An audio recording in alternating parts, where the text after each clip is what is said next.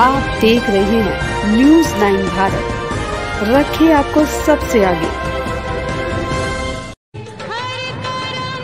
प्रमोद कुमार त्रिपाठी, प्रधानाचार्य, महर्षि विद्या मंदिर, senior secondary school, पुराना मुगल रोड, फतेहपुर, उत्तर प्रदेश की तरफ़ से समस्त नगर वासियों जनपद वासियों तथा देशवासियों को स्वतंत्रता दिवस की हार्दिक शुभकामनाएँ।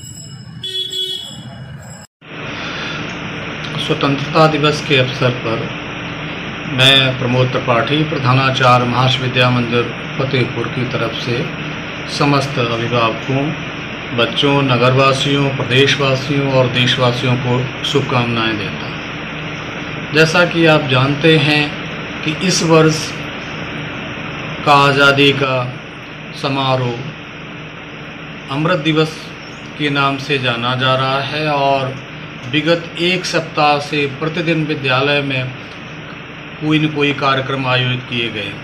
एनसीसी के छात्र छात्राओं के द्वारा प्रतिदिन राष्ट्रवाद की भावना से ओतप्रोत होकर के भारत माता की जय जयकार करते हुए, शहर के सभी भागों को कवर करते हुए प्रभात फेरी ले जाई जा रही है।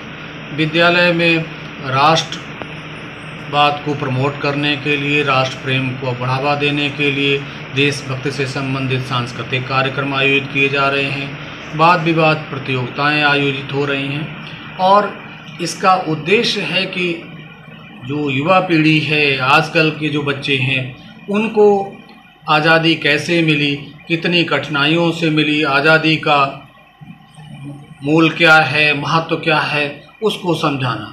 अभी कल विद्यालय के प्रांगण में भारत सरकार के शिक्षा मंत्रालय और रक्षा मंत्रालय के संयोग संयोग से, सौजन्य से, डीआरडीओ मंत्रालय से राष्ट्रीय स्तर पर कार्यक्रमों का लाइव प्रसारण किया गया, जिसमें हमारे एन के जूनियर विंग, सीनियर विंग के सभी छात्र छात्राएँ और विद्यालय का स्टाफ शामिल। ये निश्चित रूप से हमारे लिए गर्व का विषय है कि हम अपनी आज़ादी को न केवल अक्षुण रखें, लेकिन देश जिन मामलों में पिछड़ गया है, अभी चाहे शिक्षा का स्तर हो, चाहे रोज़गार की समस्या हो, चाहे देश की अन्य, देश में व्याप्त अन्य समस्याओं को देखा जाए, अब नई पीढ़ी का ये दायित्व तो बनता है कि हम इन समस्याओं को उसी भावना से, उसी आंदोलन की भावना से आगे कैसे ले जा सकते हैं? इन समस्याओं का समाधान कैसे कर सकते हैं? क्योंकि जब देश आगे बढ़ेगा, तब हम आगे बढ़ेंगे। दुर्भाग्य से आज देश में कुछ धर्मांधता को बढ़ावा मिल रहा है। कुछ अप्रिय घटनाएँ घटित हो रही हैं, जो चिंता और चिंतन का विषय है। इसीलिए ज़रूरी है कि नई पीढ़ी को राष्ट्रवाद से जोड़ा जाए देश प्रेम की भावना से जोड़ा जाए और उनको ये बताया जाए से जोड़ा जाए देश प्रेम की भावना से जोड़ा जाए और उनको ये बताया जाए कि जो आज़ादी हमें मिली है, इसका कितना बड़ा मोल चुकाया गया है। और यदि हम फिर से धार्मिक वैमनस्य, क्षेत्रीयता, जातिवाद, सांप्रदायिकता, भाषावाद के छोटे छोटे मसलों में पढ़ेंगे आपस में लड़ेंगे तो निश्चित रूप से देश कमज़ोर होगा। और जब देश कमज़ोर होगा तो उससे हमारी आज़ादी कमज़ोर होगी।